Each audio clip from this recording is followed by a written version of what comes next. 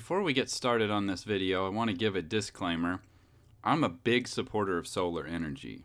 Anyone who is familiar with my channel will know that. The purpose of this video is to express my opinion regarding the aspect of solar that I find very disappointing. So take my opinions for what they are worth. Also, this is not one lie, this is actually three related lies that add up into one great disappointment for me. The first aspect of this lie is that you will never produce full rated power from your solar panels. Solar panels are rated for a specific output measured in watts, but in the real world you'll never get anywhere close to this number. That is because this rating is determined in a lab under carefully controlled test conditions. These conditions for solar are called STC or standard test conditions. The problem is, in the real world, solar panels will get dirty over time. Even a small amount of dust or bird poop or something else on your panels will affect its output. There are also numerous losses in the system that degrade the power from the point of generation to the point of use. In my experience, if you're getting 80% of the rated power from your solar panels, you're doing extremely well. But also because solar panels are generally mounted in a fixed position, there are inefficiencies based upon the time of year and the angle of the sun in the horizon. The second aspect of this lie is you can never totally eliminate your power bill in a grid tied system. If you look at your power bill broken down on a monthly basis, you'll notice that your usage and demand fluctuates by month. So, unless you overbuild your system and design it to meet the demand of that one large month, you're going to have some shortages somewhere. Not only that, but electricity prices are constantly rising across the world. So when you designed your system to give you a net zero payment today, over time that's going to go out of whack because the electricity prices that the electric company is going to charge you are going to go up and you're going to have to start paying money.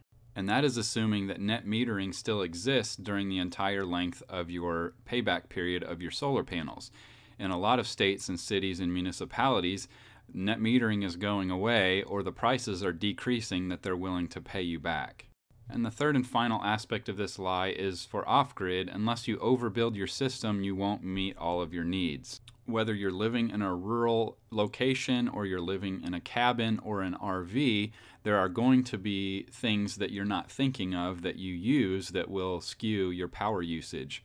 One of those examples would be power tools. Maybe you need to make some repairs to your to your cabin or something like that, and you need to uh, plug in some power tools or recharge those power tools. That's something that you didn't foresee and thus increases your power usage. And then there are hard to forecast devices that you use in your home that's kind of difficult to get an average of because they're used intermittently, such as a hair dryer and a coffee maker.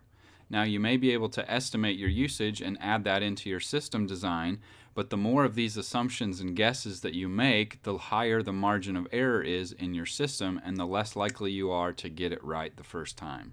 And then there is the weather. Unless you're going to be an Iron Man and not use any air conditioning or heating, there will be those extreme hot and cold days where you're going to use those systems more than normal.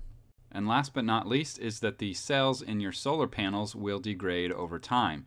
It is well known that they degrade in a linear fashion over time, and the warranty reflects that, so that by the time you get to the 25 year mark, they're only warranted for about 85% of their rated output. So even if you're smarter than all the rest of us, or you get extremely lucky and hit a bullseye, five years, 10 years later, you're going to have a problem.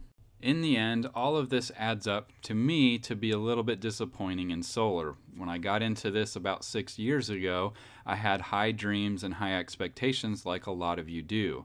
I talk to dozens of people a month about this, and generally speaking, their expectations are higher than what solar can actually do in the real world. Unless you're rich, of course, or you just overbuild the heck out of your system.